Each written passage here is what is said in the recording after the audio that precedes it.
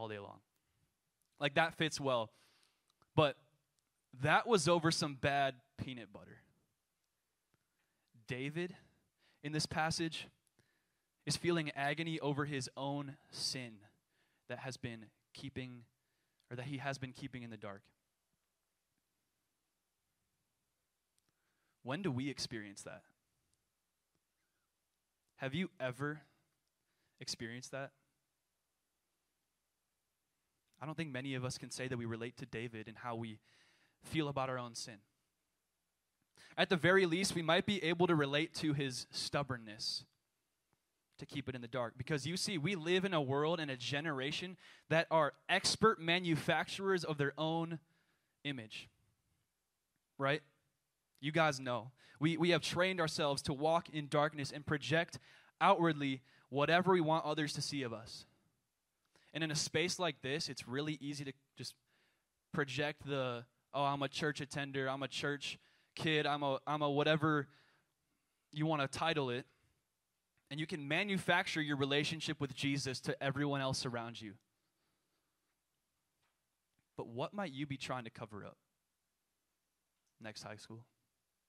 What might you be hiding that is eating away at your life and joy. See, David in this passage, he has this realization about what keeping his life in sin hidden is doing to him. He says, When I kept silent, my bones wasted away, my strength was dried up as by the heat of summer. This is the first step in the direction of confession. This is experiencing a conviction. Conviction, in this sense, is simply an acknowledgement that something is not right. Something feels off, and something seems to be stirring deep within me, and I'm not sure it's good. I'm not sure it's of God. And, friends, the things that you feel this way about in your life are only going to get worse the longer you keep quiet. Just like when I was sick with food poisoning, I wanted nothing more than to just lay still in my bed in the dark for hours on end. But what I knew I needed was help. I needed the things that my body was losing. I needed electrolytes. I needed water. I needed potassium, sodium, all the things that my body needs to get better. Otherwise, I wasn't going to enjoy the rest of my vacation. I wasn't going to get better. And in the same way, David acknowledges what he needs. He acknowledges his need for the only one who could heal him of his condition. In verse 4, it says, For day and night your hand was heavy upon me. All right, what we see here is that conviction doesn't feel good. Some of you, you hear David in this passage, and he's telling God, God, your hand is heavy upon me. And you think that sounds oppressive and harsh of God. But, friends, that is the grace and mercy of a loving God on a broken and weary sinner.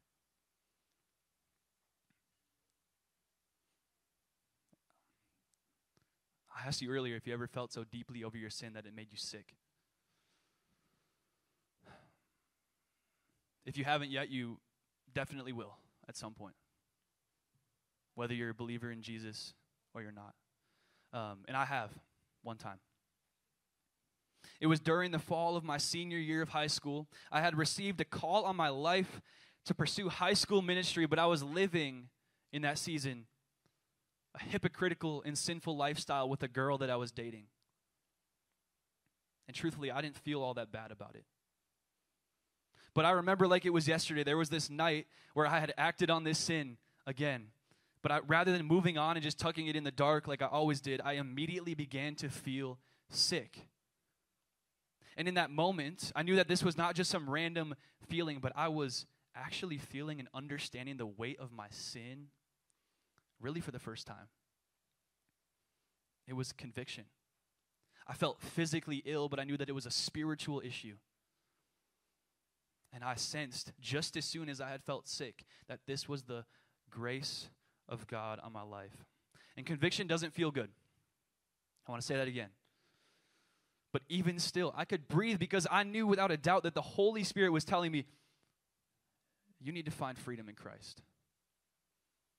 that I needed to bring this to the light, that I needed to stop living this way because it was killing me and hurting others, and that He loved me way too much to leave me here. Some of you need to hear that tonight. God loves you way too much to leave you where you are.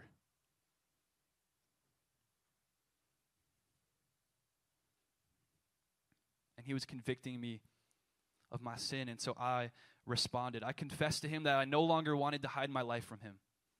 I no longer wanted to live my own way. I trusted that His way and His life for me would be far better and far more worth it. I confessed to Him, and over the next couple of months, I began to confess to people in my life. I confessed to my mentor, and I confessed to my high school pastor. And a little later on, I, I finally confessed to my peers because they didn't know the things that I was doing in the dark. They got the image that I wanted them to have. And freedom was experienced because I understood how my sin had taken me captive. And I understood how forgiveness towards me broke me out of that. And so I stopped living like a prisoner. Some of you need to ask God to make you ill over your sin tonight. Some of you need to ask God to make you ill over your sin tonight. Because He can do that. He can give you new desires. He will give you new desires, and that's good news. You see, confession is the correct response to conviction, and conviction is the grace and mercy of a loving God on a hurting and broken sinner. Now, as we continue tonight, I want to address the question of why do we confess? See, David says in verse 5, he says, I will confess my transgressions to the Lord, and you forgave the iniquity of my sin. Here's something I've noticed as I've lived the Christian life over the, over the past four and a half years. It's way too easy for us to read something in Scripture and just assume that we are always on the Jesus team. To just assume that we are always the good guys in the passage. And so we sometimes read about the forgiveness of Jesus and we somehow feel entitled to it.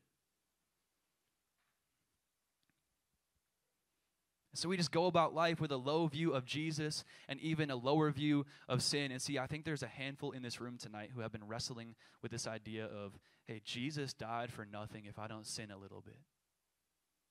Jesus died for nothing if I don't sin a lot of it. And friends, I've heard that plenty of times. That's cheap grace. If you're a believer in Christ and, and you, you have trusted that his death on the cross was the absolute payment for your sin, and yet you still hold that mindset, this is what you're saying. Jesus, I see the cross. I understand what that meant for you to die for me, but I am going to continue living in a way that only contributes to your death on the cross. That's cheap grace. Because it cost him everything. And that's walking through life, keeping all of your sin in the darkness, but making other people think you love Jesus. But that's not loving Jesus. That's selling the grace of God for a lie, and that is missing the forgiveness of Jesus that is on offer. And friends, I'm not trying to be harsh with you tonight. It's a heavy message. But I am trying to help you see. Next high school, I want nothing more than for all of you to leave this room tonight more in love with Jesus because you actually grasp what his forgiveness means for you. And if conviction is the first step towards confession, then I think that we see here that confession is the first step towards true forgiveness. So, why do we confess? We confess to experience the freedom of forgiveness. We do not confess to make God love us more. We do not confess to make God love us more. We confess to experience the freedom of following a forgiving God. Now, there's an image that I really love to think about um, and, and paint for people when I think about the forgiveness of Jesus. I want you to, just for a second, just imagine uh, you're in a courtroom and there is a criminal standing before a judge. This criminal has done some horrible, horrible things like heinous, evil crimes. In just a few moments, he's going to be convicted and sentenced the death penalty for their crime. But just as the judge goes to declare the criminal guilty, the judge stands up, steps off the platform, steps down to the criminal, looks him face to face, and says, You're free to go. And in the same breath, you see the judge hand out his wrists in front of the criminal, and you watch as the officer takes the cuffs off the criminal, puts the cuffs on the judge. Not only that, but the judge instructs the officer to hand over to the criminal all of his belongings his car keys, his bank account info, everything that this man has now belongs to the criminal. And as the judge moves away to go and take on the death sentence in his place, he looks into the criminal's eyes and says, Your crime has been paid for. Go and live differently. I want you to ask yourself what would you do if you were that criminal? What would you do if you were that criminal? Would you walk out of that courtroom and just brush it off like, man, I wasn't even guilty, it's whatever? Or would you walk out of there and say, I was so guilty? I was so guilty. And man, I, I have no choice but to be transformed by the incomprehensible grace that I was just shown by a judge who owed me nothing. What would you do?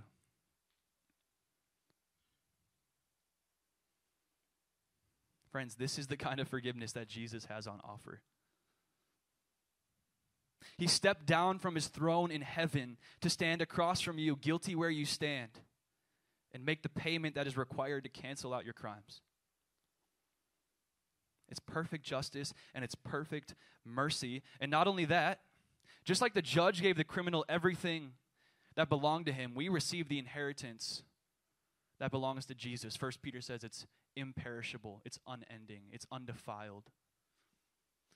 You see, we receive the righteousness of Jesus, which just means when God looks at you, he sees Jesus and not your mess. And you can experience that kind of forgiveness.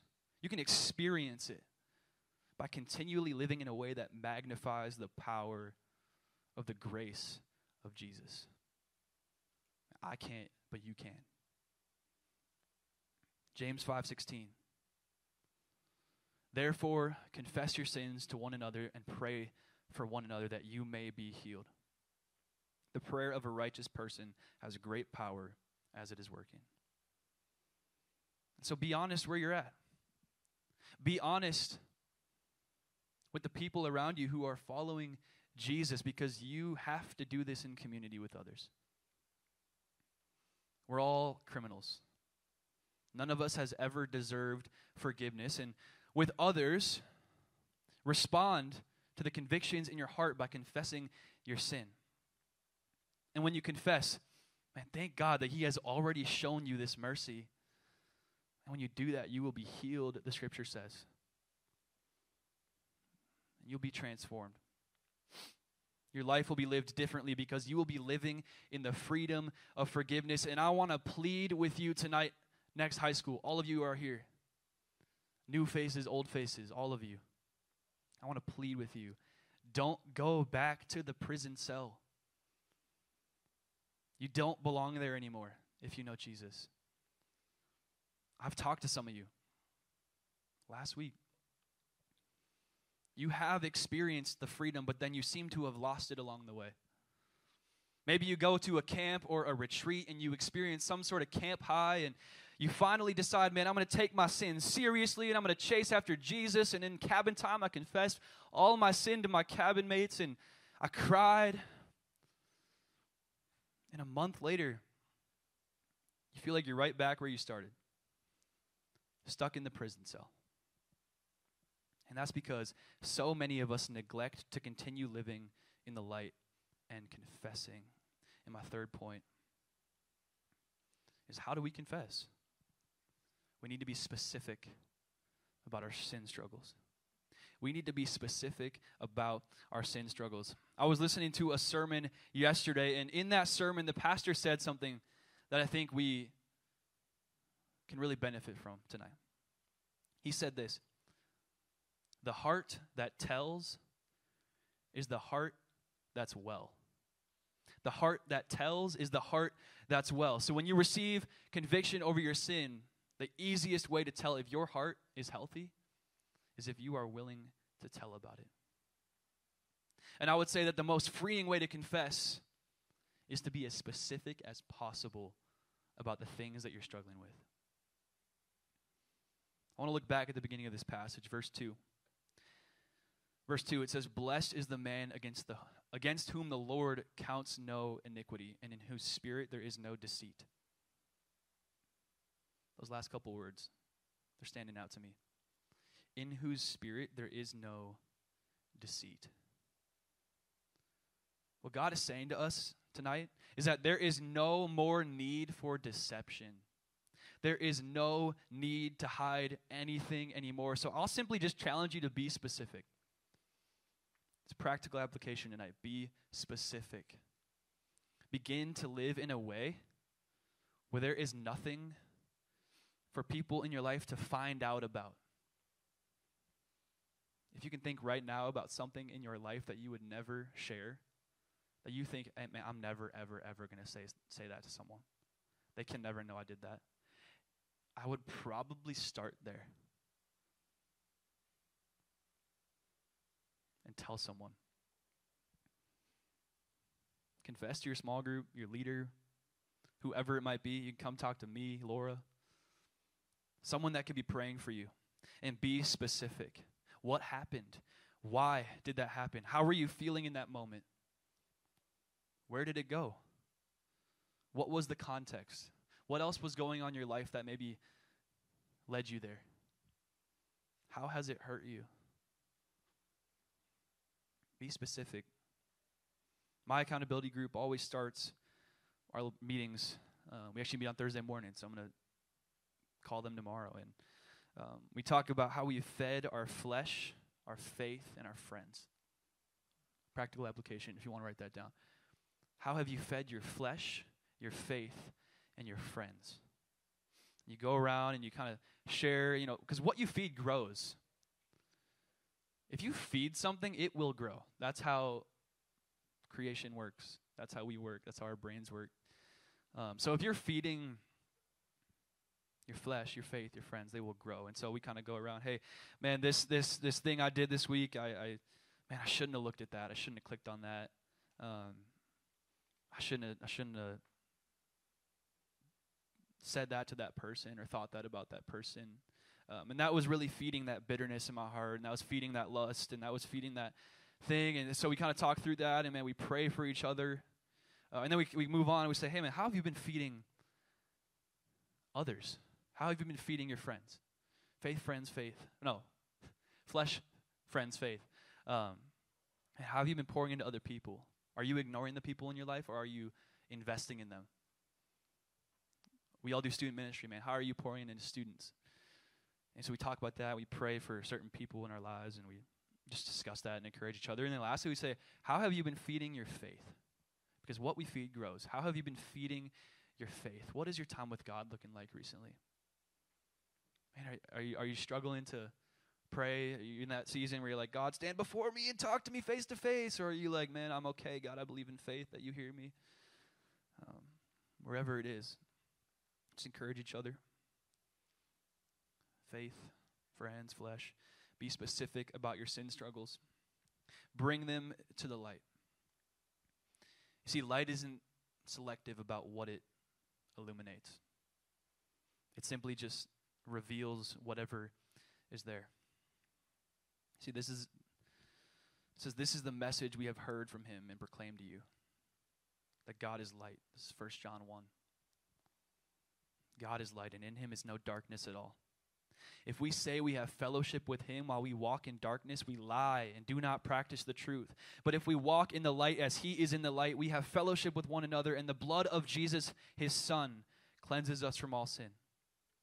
If we say we have no sin, we deceive ourselves, and the truth is not in us. And if we confess our sins, he is faithful and just to forgive us our sins and to cleanse us from all unrighteousness. I'm going to invite the band back up, close out tonight. Um, but yeah, that's, that's from 1 John 1. It's a great passage on confession. If you walk in the light, you will walk together in fellowship. And the blood of Jesus will cover your sin. That is a life of following Jesus, and that is a life of healing. See, confession is the right response to conviction. We confess to experience the freedom of forgiveness, and we confess by being specific about our sin struggles. I want to go back to a question I asked you in the beginning of the message Who is covering your sin? Next high school, who is covering your sin? My hope tonight is that you would leave this place and see that there is a life and death difference between you covering your sin and Jesus covering your sin. When you try to cover your sin, you waste away hopelessly, and one day all of the darkness in you will be seen. But God loved us so much that He made it possible for us to find a new life of freedom, and He did that by Jesus' death on the cross. There's no more room for deception the evidence is clear. Jesus' death on the cross was the payment for everything we owed to him, and his blood was shed so that our sin could truly be covered. And God, because of that, he looks at those who believe and he sees no sin. Every ounce of rebellion and lust and disobedience is covered, and what he sees is the payment he made to get us back to him And because of that, it no, it no longer matters what people know about your darkness. Because the King of the universe, the God who created everything, declared you who were guilty innocent because of Jesus. If you're, if you're not sure who's covering your sin, might I ask you to consider asking Jesus to do that for you tonight? Because he desires to. It's who he is. He wants to make you well. Someone in this room tonight feels like their whole life is a mistake. God doesn't make mistakes, and He made you. And He made you with the intention of knowing Him and being in relationship with Him. Someone in this room who feel, they feel like they don't need to hear about sin or the gospel anymore. If you've gotten over the gospel, have you ever actually received it? We never graduate from the gospel.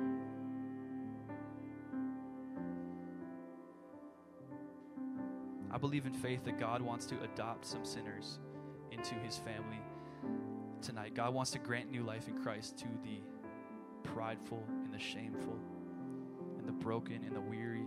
And He's going to do that for you who believe the gospel. All right, so this is the gospel.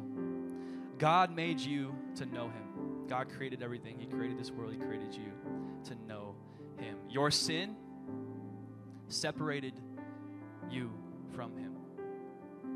You can't get back to God on your own, it's impossible. So Jesus paid the debt of your sin when He died and He rose again. And through trusting in Jesus alone, not anything else, you receive life. You receive life that you were intended to live now and forever and ever and ever and ever and ever and ever. That's the gospel. That's the good news that Jesus calls us to believe with our whole heart. And tonight we're talking about confession. But some of you need to first just confess that Jesus Christ is Lord. Here's what I'm seeing about the world that we live in, about the country we live in, about the community and the schools and the place that we live. There's no more room for nominal Christianity. Our world's going to weed out those who believe with conviction that Jesus is Lord and those who don't. It's just going to happen. And like we talked about earlier, if God is convicting you right now about the reality that He truly is Lord, then respond and confess. check this out. Bible says in Romans 10, 9 through 10, if you confess with your mouth, if you confess with your mouth that Jesus is Lord and believe in your heart, no one else can do that for you. You can't manufacture that. You believe in your heart that God raised him from the dead for you, God raised him from the dead, you will be saved. For with the heart one believes and is justified, and with the mouth one confesses and is saved. Everyone, bow your heads, close your eyes. Don't distract each other. I want you to imagine Jesus right now with all the biases and the perceptions and the knowledge that you may have about him. Close your eyes, bow your heads, imagine Jesus. Do you see him standing there with a pointed finger? Do you see him standing before you angry and disappointed? That's not what Jesus says about himself. Jesus says that he is gentle and lowly. He's not standing there with a pointed finger. He's kneeling with open arms, ready for you to run to him. And if you want to put your faith in Christ tonight and be saved for forever, you just pray with me right now. If that's you, if you want to be saved, you want to know Jesus, you want to get to know him, and you see him right now with his open arms, God, reveal your grace to them. You pray with me if that's you right now in your heart?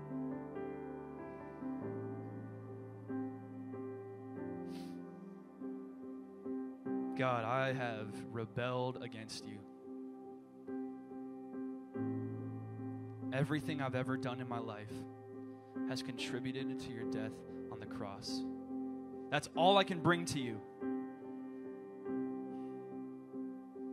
But God, right now, I believe that you are convicting me humble myself before you and say, You are Lord. And if that's you, friends, I just want you to confess right now. Commit to confessing that Jesus Christ is Lord. There's no other Lord like him. And I just pray, Jesus, man, if that's you, Jesus, I believe in faith you paid for my sin on that cross. That you were on that cross and you thought of me and you saw me and you said, okay, I will do it. And God, I don't deserve it, but I believe in faith that you actually did that for me. And so I receive it, God. I believe in you and I ask for salvation.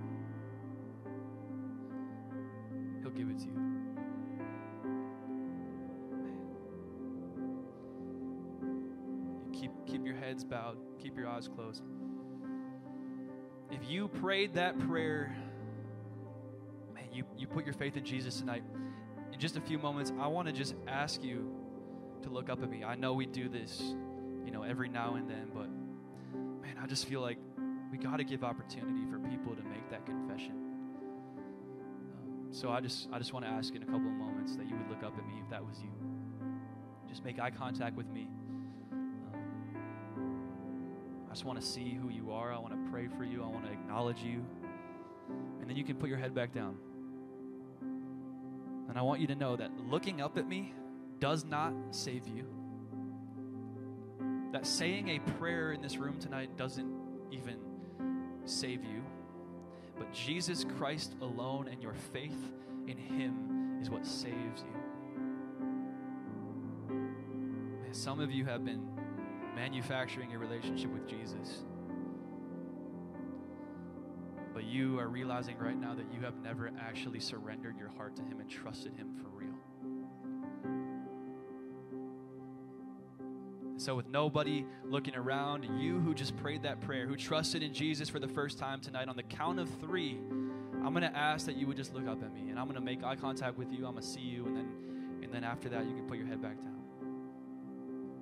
So, one, looking up doesn't save you. Two, trusting in Jesus Christ alone is what saves you. And three, you can go ahead and look up at me. I see you. Yes. Yes. Mm. Praise God. Praise God. Oh. Come on. If that's you, I see you. Yes. Yes, I see you. Yep. Keep looking. I see you guys. What a gift. Man, I love this. If you looked up, you can you can bow your head again.